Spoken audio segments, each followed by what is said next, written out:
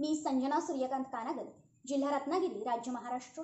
द्वितीय वर्ष वाणिज्य ए सी एस कॉलेज लांजाची विद्यार्थिनी. गांधी रिसर्च फाउंडेशनच्या वतीने जागतिक अहिंसा दिवसाच्या निमित्ताने आयोजित राष्ट्रीय वक्तृत्व स्पर्धेसाठी अहिंसा जीवनाचा नियम या विषयावर मी माझे विचार व्यक्त करत आहे. एका छोट्याशा गोष्टीनं सुरुवात करते. एका राज्यावर बाजूच्या राज्याचा शासक सतत आक्रमण करत होता.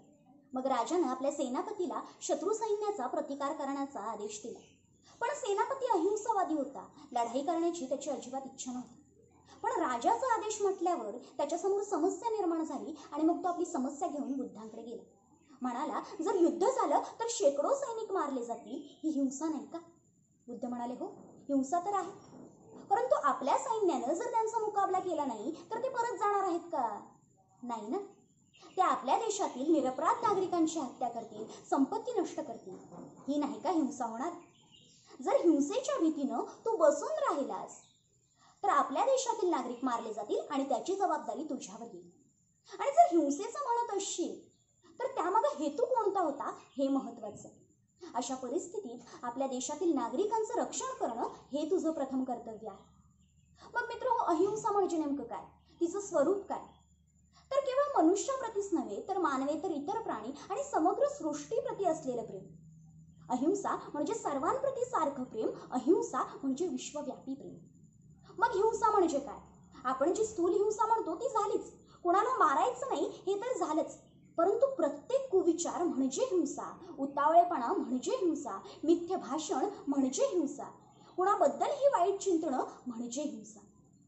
अहिंसा परमो धर्म म्हणजे अहिंसा हा श्रेष्ठ धर्म होय असे महाभारतात सांगितलेलं आहे.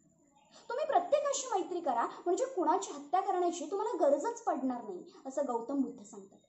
जैन धर्मशास्त्रात अहिंसेच्या तत्वाची अत्यंत बारकाईने मीमांसा केलेली आढळते. जीवो जीवस्य जीवन हा जीवसृष्टीचा नियमच आहे. आणि या तत्वाचा जर आपण आपल्या व्यवहारात अंगीकार केला तर अहिंसेच्या आधारे आपण समाजाची नवीन पद्धतीने उभारणी करू शकतो. मित्र अहिंसेचा सगळ्यात मोठा क्रांतिकारक कोणता? मोहनदास करमचंद गांधी.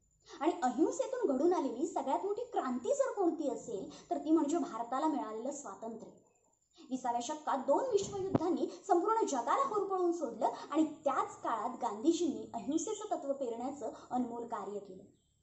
इंग्रजांकडे अत्याधुनिक शस्त्रसाठा असतानाही अहिंसेच्या आधारे हिंसेविरुद्ध मोठा लढा उभारता येऊ शकतो हे गांधीजींनी दाखवून दिलं आणि म्हणूनच शांती आणि अहिंसेचा संदेश देणारा दूत म्हणून जगभर गांधीजींचा उल्लेख केला जातो.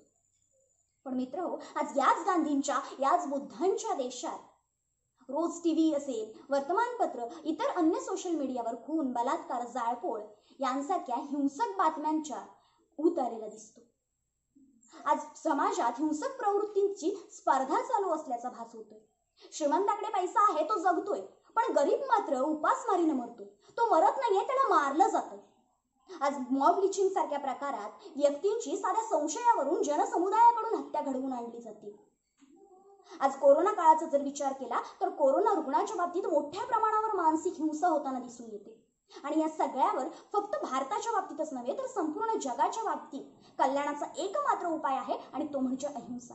हल्ल्यानं हल्ला मिटतच नाही तो वाढत जातो. आणि यासाठी प्रत्येकानं आपल्या वैयक्तिक सामाजिक राजकीय जीवनात अहिंसा जीवनाचा नियम म्हणून स्वीकारला पाहिजे. शेवटी माझ्या वाणीला विराम देताना साने गुरुजींची एक प्रार्थना म्हणाविषयी वाटते. खरा तो एकच धर्म जगाला प्रेम अर्पावे म्हणजे आपण सगळ्यांवर जर प्रेम केलं तर कुणाचा द्वेष करण्याचं कुणाचा राग करण्याचं कुणाबद्दल हिंसा करण्याचं आपल्याकडे कारणच उरणार नाही. धन्यवाद.